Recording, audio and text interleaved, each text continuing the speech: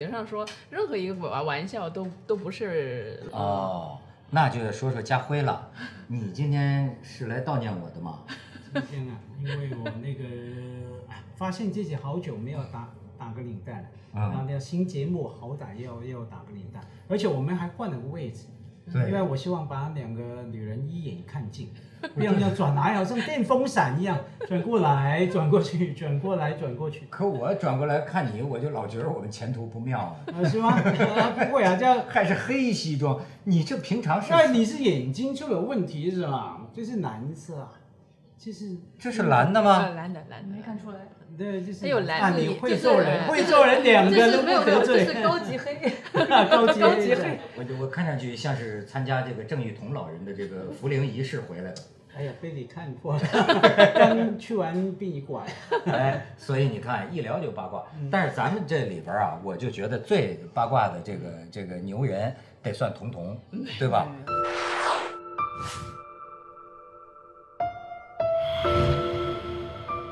彤，你看你姓就姓黄，对吧？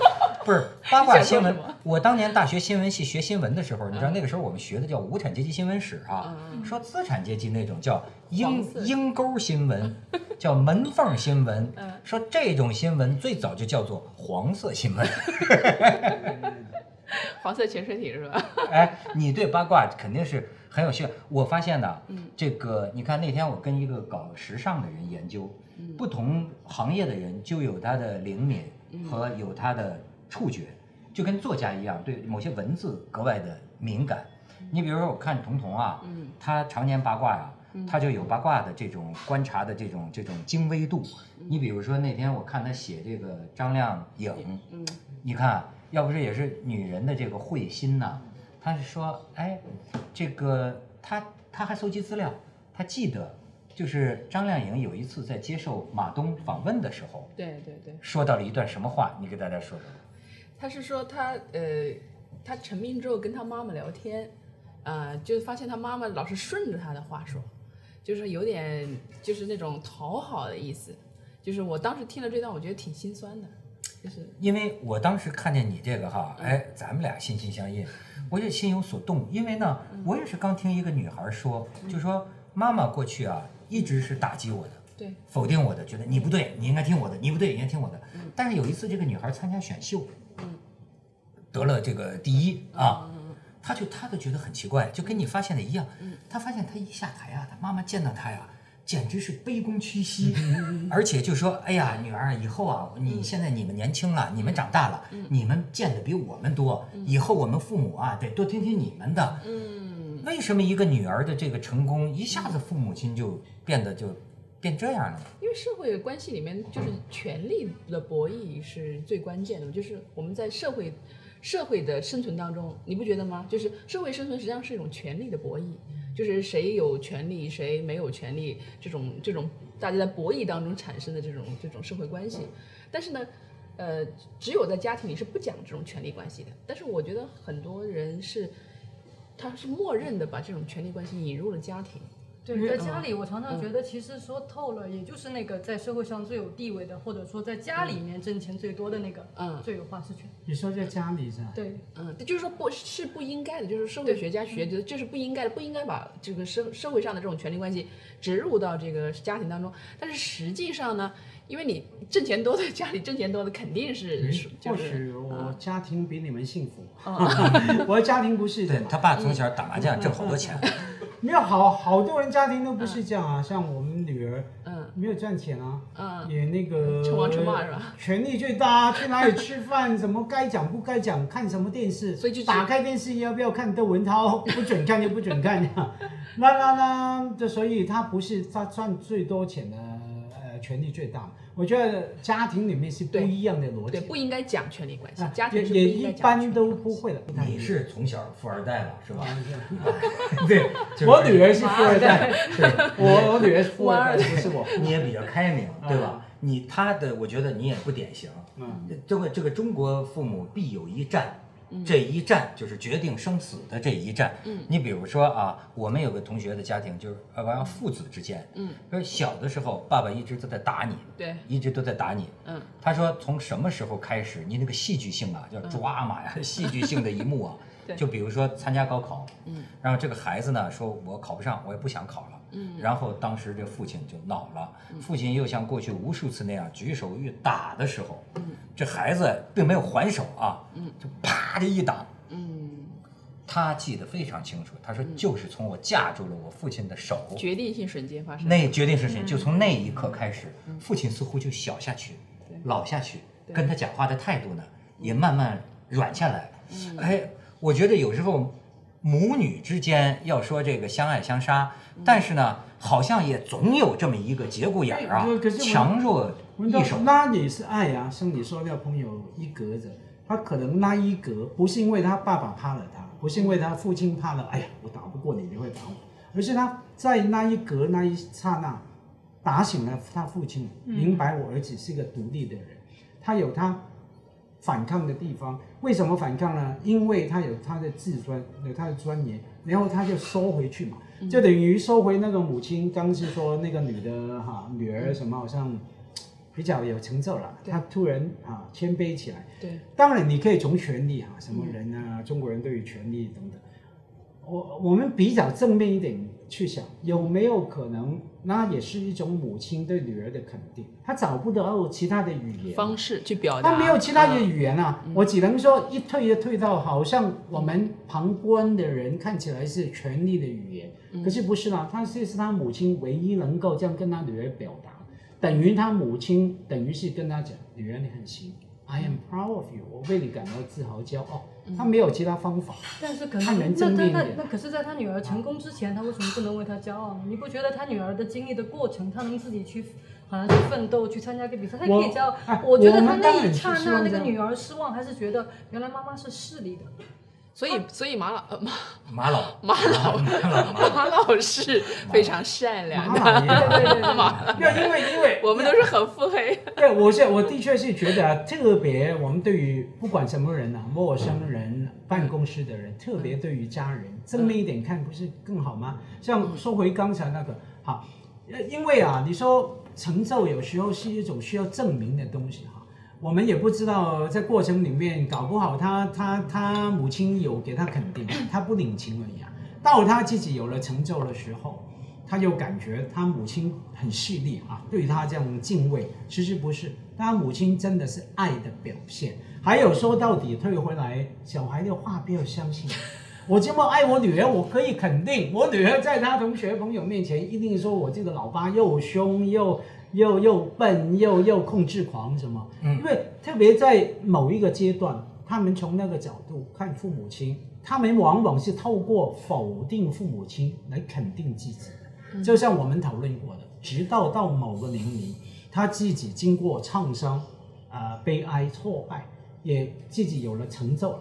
OK，他才能比较平平等、公道的看父母亲。不要相信小孩说的话，千万不要你。就一直等着那一天。哎，但是彤彤，你说啊，你去，你为什么喜欢八卦呢？我觉得是，你不觉得八卦是一种信息交流吗？什么的信息交流？就是所有情况的信息交流。我我从来不认为八卦，别人一说八卦，我就觉得就觉得是一个很贬低的词。八卦里头就是人生嘛。啊，对对，我觉得八卦里有很多东西很细节，非常有意思，可以琢磨人，哎，琢磨各种不同的这种状态啊，我觉得太有意思了。比如说你琢磨一个事儿，琢磨个明星给我听听。这个呃好多啊，就是每次我看到这个，比如说今那个王宝强去离婚，对他开今天上庭啊，这个开着一辆红色的这个很廉价的一个车子，故意的吧？你不觉得很有意思吗？我就打车去。我你不觉得很有意思吗？就是他有肯定有大把朋友，有很好很好的车，可是他开了一辆红色的很廉价的，这很有意思，彤彤。可是我会更好奇啊，嗯世界上很多东西很有意思，嗯。我们看个戏很有意思，听音乐很有意思，看画展很有意思，嗯。可是特别喜欢八卦哈，嗯。呃，包括我也很喜欢八卦，嗯。别误会我，不然以为我不看八卦，我会好奇这种八卦跟我之间的关系，我是觉得一般人啊哈，嗯。呃，看八卦，除了觉得有意思，我多知道一个事情以外呢，其实是摆定了我跟那个事情的关系。比方说啊，幸好这种悲剧戴绿帽不出现在我身上，或是说会去想，因为很少人呐、只是看人家八卦，看完一定想。哎，假如是我是王宝强哦，我不拿进拿把刀进去砍，或者我怎么怎么样，一定会想，有意无意的想，假如是我，我会怎么样的安顿这个事情？我觉得后面那个部分呢、嗯，才更有意思。才第一个有趣，第二个看出人的心地的好坏，你是不是幸灾乐祸？对对是不是唯恐天下不乱？对还是悲哀若得其情，哀今无喜？哎，但是呢，就是说幸灾乐祸，我觉得也挺普遍的。对啊，就是有的时候啊，人要是会检讨自己内心的话，嗯。我现在发现好几个，包括这个年轻人跟我讲，嗯。他们就会发现啊，呃，很奇怪，尤其是哎，你们女孩儿，说俩人关系特好啊，但是你跟对方要是说你自己过得好啊，据说你们女孩之间需要特别小心，哪怕是你的好闺蜜，嗯她听着听着就不高兴了。嗯嗯嗯，那你比如炫耀，近乎炫耀。对她听着听着就她可能会产生，哎，包包括有时候男人之间也很微妙。对，你比如说俩哥们儿，对吧？这哥们儿说找一个女朋友，嗯要来，嗯好，当然了，咱们说那边大尾巴狼的话，就说他能找一个很好的、很美的、很漂亮的女朋友，我们为他高兴嘛，对。是吧？为他高兴啊，心里在流泪啊，对吧？但是呢，往往你这哥们儿要真找一个特别优秀的女朋友，嗯。甚至甚至是特漂亮，嗯。我跟你说，你纵然你是他的好朋友，你是用理性来让自己为他高兴，对对。但是实际上还免不了你内心深处啊，有一种啊妖孽的 酸的但是不觉得吗？我觉得找着了呢。就这种心态，我现在发现，不是说跟闺蜜跟什么，其实不光是我，我相信每个人都有。我就发现什么东西都可以去分享，你都可以讲的时候，只有一样东西我觉得是不能说的，就是嫉妒。嗯比如说，我就不会告诉别人说我嫉妒某一个人，我觉得嗯这个是我最难以说出来的事情。然后嫉妒心是属于你内心最深处的一个东西。对，然后你说那个八卦，我就想到，其实英国社会是一个特别好玩儿，就是一个方面，他们之间就是你看，在英国就是大家就聊，就是你聊天有个规则，好像不太就觉得说八卦是不体面的，对吧？嗯。但是呢，它是一个八卦业极其发达的那种什么小报，不是都是英国的吗？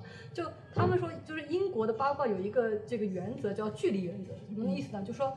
比如说我的事儿，那我的这个就我个人的事儿是放在家庭里说的，就可以说的。嗯嗯那么同事的事儿呢，是公司里可以说的；嗯只有名人的事儿呢，是全社会都可以说的，啊因为他们跟我们有距离。对我们说对我们说他们的时候，我们不会觉得很内疚。哎，我在聊一个人的八卦，我不内疚。他们就是全社会，对，文涛，我以前写过骂你的文章，但是我后来 现我如果现在我认识你了，我就绝对不会再写了，因为因为如果成为了朋友，你就完全不能写你朋友的八卦了，因为你是有道义上的责任的。对，但是以前道义你是上你得再写一个夸我的嘛，然后，如果是就是很远的时候，你你就是他作为一个社会名人存在的时候，你是完全在距离之外的，你是可以去评说的，因为我觉得那个谁说的非常对，就是你名气的一部分，你获得的利益的一部分，就包括了被别人 judge 的这一部分。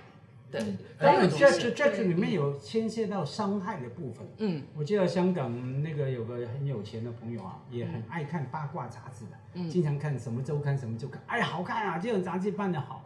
直到有一天，他自己上了封 原来自己是封面里面的 那烂杂志什么东西卖，来 替我把它收购起来，请他助理去把那个周刊收 收购了过来的。对对他看你所谓针有没有刺到你。对，刺到你的时候，你就知道八卦的恐怖的地方。还有你刚说什么哥们的嫉妒啊，嗯这伤害性很大的啊。我记得我不说是谁，有一次我文涛呃 我文涛，我文涛、子东在这一一起嗯，有个女生过来就对着子东说：“哎，子东老师啊，我觉得你是凤凰这个组合里面是第二帅的。”哇，那就 杀掉我们三个。第一个，子东不会高兴，为什么我不是一岁，我是第二岁？然后我跟文涛又互看一眼，这叫不会聊天。谁是第一帅啊？你知道吗？一句话打剩下你们三个对，在然后就走，丢下一句话，从此我们三个脸和心不和，就是在那么一句话。这叫移桃杀三式啊！对，那很恐怖的。那个女的厉害。那我不知道像，比如说像你的工作，或者是嘉辉，像你写专栏，其实你们都难免其实会写到八卦的。肯定但会的你但你比如说你写这个事情，其实是你认识的一个人，或者你的一个朋友，嗯一个有名的人，但你可能会不写他的名字。我绝对不会写我认识的，所以我尽量不认识名人。这个不，这个也是他们说就是这种八卦的原则，就其实你是靠这个活的，但是呢，呃你写了以后，但是如果有人向你求证，嗯，你写的是不是他，你是不会认的，对吧？就说你是，它是一种，就我公开的书面的去写一个八卦的时候，我是不会觉得我泄露了什么，但是因为因为你所有的东西都已经出来了呀。嗯比如说我我觉得我像我们写我们是写娱乐评论的嗯啊，我们写娱乐评论属于二线，一线是狗仔队先去拍偷拍。把片子，奋斗在一线 然后把那个片子拍出来了，就证据确凿了，然后这个事情再由我们去分析。我我我觉得就是，比如说我现在做一个公众号啊，我觉得中国有很多很多的这个娱乐公众号。那么比如说有些娱乐公众号是资讯性的，那我这个娱娱乐公众号，我觉得蓝小姐和黄小姐，我们是属于那种属于呃分析型的，呃也有人会把我们定位为高端八卦，因为其实所有的人都想看八卦，只不过是有些人会觉得有些八卦很 low，就是他觉得他需要一些经过筛选的八卦，他去看。我觉得这个八卦里也是分很多很多很多专业的，哎我术业我们要有专攻。说回通通说回八卦的定义嘛，因为讲如 gossip 啊，八卦这样嘛。一般呃，当然你说到最原始，当然是不错的八卦，我们都知道中国传统文文文化里面八卦。可是发展下来，一般的确一说八卦两个字，说你是个八卦婆、八卦公。八婆，对八婆啊，不是八卦。哎，你知道吗？国内有一个。有一个人叫石榴婆啊，嗯他为什么叫石榴婆呢？他说他是八婆中的八婆，所以加起来就是石榴婆 你知道吗？他说八卦的来由是以前说香港的那些色情报纸拿那个八卦图贴的那个那个隐私部位嘛，啊，没有。对，还有人说是因为八卦图贴在隐私部位，就是他他不是他出来不让看嘛，有的一些部位，哦就拿八卦的那个小图贴在那儿，那那那那哎种那种杂志所以啊。一，说八卦就指那种杂志。没有啦，那是后来后来的对。发嗯，一开始就广东话嘛，八卦嘛，然后再有个源头，就是反正就是那个那个就是呃说回去八卦，就是说第一个是根本人家的吸引隐私啊，OK 哈，我们跟所谓的公共利益、公众利益哈，所谓呃知情权是没有相关的哈，然后你要把它爆出来，而且。当我们说一个人八卦的时候，其实一定是隐含幸灾乐祸的这个意味，所以我觉得我们写评论是不一样的。嗯。像我评论可以把一件八卦，比方说王宝强八卦，嗯，OK，嗯，我把它分析里面的性别的权利问对对对对对对题怎么不对等，对，甚至整个法律制度怎么对婚姻有没有保障等等，那是评论啊，我觉得一点都不八卦哈。八卦就是我们去啊，你看王宝强这个那个，而且是从那个角度来看，戴绿帽子这个活该，这个淫荡这个那个，OK。有那种 judgment 那个判断，特别道德判断的，跟你无关的是，人家的吸引，我真的觉得八卦，我真的呃没有冒犯的意思啊。没有没有我对同行的，我觉得假如你关心那些事事情的人，我觉得一定是自己生活太贫乏，或者说那个趣味太低了，然后才会那我去关心。那我问你，那个啊 Woody Allen 的趣味低吗？可他电影，我觉得就是他躲在一个角落，搜集了很多人的八卦，然后啊，那我我我觉得那个不叫八卦了，那个叫艺术的创造，就像我的评论一样。哎，所以你看，我现在有一什么观点呢？我过去对聊这个人家八卦呀、什么的艺人的隐私啊，还是有点这个膈应的，是吧？现在我都想开了，就是反正就互相聊吧，就这个历史大潮浩浩汤汤，你知道吗？你不能阻挡，而且我要说呀，它是文学。那天我跟他们讲，因为站在我们这种受过训练的职业新闻人的角度看来，那家伙未经充分证实的东西全都是瞎掰。可是这样世界太没意思了。所以你知道，我现在聊这个八卦呀，真的，我是在文学的意义上，我首先要说明这事儿跟张靓颖 đến 到底怎么回事儿，我们永远也不清楚。但是呢，这就像是现代演出的戏剧，所以我那天哎，我那天就好有一比，就是说，在更早以前，你或许有些人你可以说狗仔队不好，因为他毕竟是偷窃，对吧？可是呢，到了后来，你发现这世道变什么样了？是他自己的妈妈对是他自己的王宝强，嗯发公开信，让全社会就跟人民日报社论一样，嗯你知道吗？所以我就明白了这个世界的本质，这个时代的本质。嗯这个时代叫明星时代，也叫社交媒体时代，也叫八卦时代。它的本质就是什么啊？这些明星啊，就是咱们的样板戏。对真人秀，你记得当年江青搞样板戏吗？全国人民没有别的可看，于是呢，又是今天价值观这么混乱，谁都不知道，哎，自己被戴了绿帽该怎么办？嗯该怎么反应？嗯对吧？或者说有人谋夺自己家产，或者说妈妈这个呃干涉自己婚姻，这是所有人心里的疙瘩。嗯哎，你看。就有我们不知道该怎么办，很多人也没有宗教，也没有上帝，是吧？党好像也不太管这事儿了，对吧？光机就需要明星，现在就说了那个王宝强的事儿，后来不能过分报道。样板戏，对啊，说了没，错啊，这文涛你说的对啊，你就样板戏。我们在这个戏里，每个人得到他自己的指南，嗯思考啊，他是怎么办的，然后大家讨论这么办合适不合适，然后结合我自己的情况。对所以你看，那要自己没这种情况，也喜欢看是什么心理吗？我觉得他有有价值观，比如说王宝强这个事情吧，我就写了一篇，就是你会让自己的女儿嫁给王宝强这样的人吗？就是其实我们在讨论，就是说像这样的，就是王宝强这种草根出身的，然后就是代表了非常多底层人欲望的这样的一个嗯男男人啊，他怎么不去找村口的小芳，他要去找这个大城市里的小马？他这种心态在哪里？他他其实最适合的是找一个村头小芳，然后按照农村的那种方式生活着，但是他就是要找小马这种娇俏的女大学生，证明她的人生价值。你觉得这很难理解吗？我我不觉得他不觉得理解，但是我觉得代表了一种男人的心态。我觉得也代表了女人的心态，就是代表了人性啊。对代表我们要的都是自己没有的。对对对，你比如说马蓉，为什么她要嫁给一个？就是说实在，他真的是看不起她，就是看不起。就是 就是你你你你想，她那么漂亮的一个女大学生，然后去跟一个没有什么知识啊，人家是明星呀，当时她红了嘛，就是因为她当时红了嘛，就是因为当时。呃，她觉得，呃，我我如果找别的男人，我没有他有钱，没有他有名，她就觉得，就是在中国的这个婚姻关系里面，女性还是依然是以男性的这种生产资源来确定自己愿不愿意嫁这个这个与这个这个这个，我，嗯那我也说了，跟你抬杠了。嗯那你怎么知道他就没爱过王宝强呢？我觉得也许两人经历过爱，最后爱情变灰了，啊呃出现了。那你怎么知道就又不是没爱过？所以我就觉得这就是整个呃呃中国人的一种一种婚姻观吧，就是普通普世社会的婚姻观就认为女的就应该趁年轻漂亮嫁给有钱的呃男人，那就是有钱的男人是就是我们如果说婚姻是个市场的话，有钱的男人对嗯这个有钱的男人是站在这个。金字塔的顶端的，那年轻漂亮的女人也是站在金金字塔顶端的。那么这种交易是是非常美丽的，是合乎法则的，是是吗我能跟？你们说一个完全不一样的一个感受吗？嗯就八卦对于我来说，跟跟你们说的恰好相反，我一点不情景代入，就说嗯我最喜欢的那种感觉，我也看八卦，但我的感觉是我隔着一个玻璃，嗯像我说的不好听点，像动物园，我看就是我隔着一个玻璃，我在看很多事情的发生，嗯我就想看，哎，怎么了？怎么了？怎么了？接然后接下来怎么怎么怎么了？嗯我没有觉得我一定他要解解决我的现实问题，也因为你没有觉得阶层不一样啊。呃呃，但但我他们说是因为这个聊八卦是代替了人类以前撸毛的那个行为，我对 对大家之间有对对对对对对亲密感你把八卦看得太小了，就八卦还小啊八卦对于人的重要意义，我跟你说，我给你一个学术性的解释。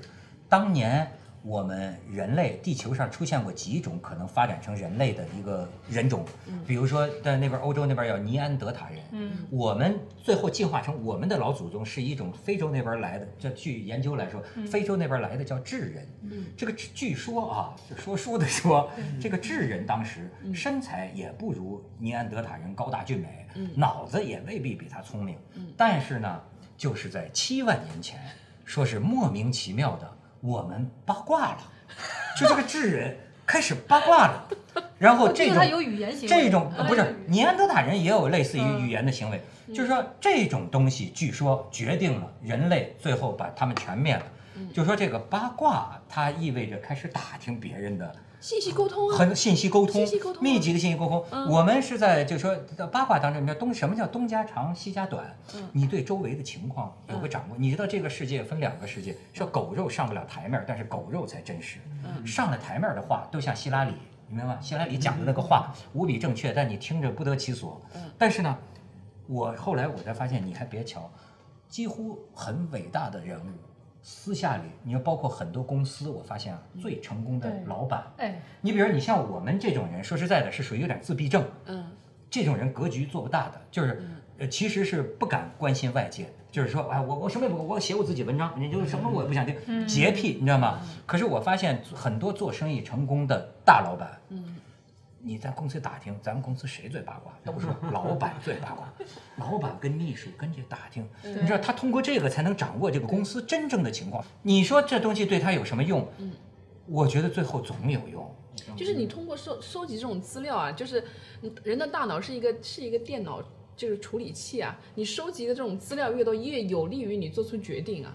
就是你的信息越多越丰富，那么你的决定可能越那那正确。讯息当然了嘛、i n f o r m a t i o n is power 啊，是是权利嘛。所以文涛说样板戏生活指南哈，他是用了很动听的语言来总结了哦我前一阶段的论述啊。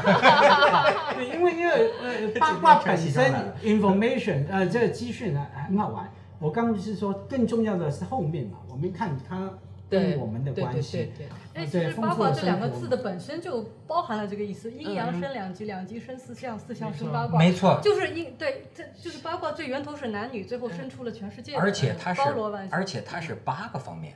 你知道，你比如张靓颖的母女这个，我最近我在朋友圈，因为我认识的各年龄层次的这个妹妹，不是哥哥和妹妹都 都妹妹都是妹妹主要是妹妹不是母女嘛，母女嘛，我发现他们转发，哎，咱们在台面上的似乎都是理这个这个叫什么理性的平等的，对吧？讲的似乎都是说妈妈怎么能这么做呢？妈妈怎么怎么着呢？你以为真是这样吗？还有一个妈妈圈儿，嗯，妈妈圈儿里转发出来的，你以为光你写文章吗？我看到同样多的文章，就是现在养孩子就是养个白眼狼，对吧？还就从来就没有就能理解自己父母。同样一个八卦，嗯，不同的人，嗯，并没有从中改变他自己，反而他加强他自己。你别你你你你你你以为他妈妈不该这么做吗？可是很多父母同情他妈妈，甚至张靓颖微博底下都是听妈妈的话，对吧？张靓颖说：“我不是周杰伦。”哎，你说是不是？说的这个现象，我觉得跟现在就快速产生文章也有关系。他连那个八卦都没消化呢，嗯，就你知道我们自媒体口，咬了一口，我们自媒体有多拼吗？一个新闻出来，我们当天晚上就要出稿子对，就是就是那个多可怕呀那得！胡写成什么样啊？没有没有关系啊，重点在于说你可以胡写，读的人也不会认真嘛，不是那句话吗？谁认真谁就谁输了是吧哦对不对？今天听你这样，明天哦，原来不一样的说法，你可以说有不一样的情况发生，对吧？所以那个八卦的变化，对就，我现在就觉得这个，就说这个八卦呀，它实际上是需要什么呢？让我们对自己啊，不要看得太高。哎我最近发现我心情轻松下来是什么呀？就是说啊，我觉得实际上谁也别装大个儿的，你知道吗？你什么知识分子，你什么明星，什么领袖，你碰到你自己有损失的事儿，你的那个反应跟任何一个普通人没有什么区别。我们就是人类，是吗？七万年前我们开始八卦，不就是？哎，你最后你想明白了，你也是个脚底下的爬虫嘛，你这这就是一样的。呃很很很很很很多人觉得我多么高洁，嗯你们说了我，我就就我就受伤。嗯，可是啊，咱们其实本来都是一样的人。嗯，呃，他会出轨，你也会出轨，大学教授也会乱来，嗯，对吧？就是你慢慢的反而会让自己谦卑，就是，所以我朋友经常劝我的一句话就是有一句很万用万灵的话，就是要有宇宙观，宇宙 对。要有宇宙观，因为你如果当了圣经。对，如果如果你有你有宇宙观呢，你就不会把自己看得那么重要。没错我我前两天看采访陈学冬，就是那个郭敬明的好朋友陈学冬、啊。哦然后呢，呃，陈学冬因为很多人都在 judge 他们俩的关系啊，然后然后他你知道他怎么回答？我觉得这小孩特别聪明。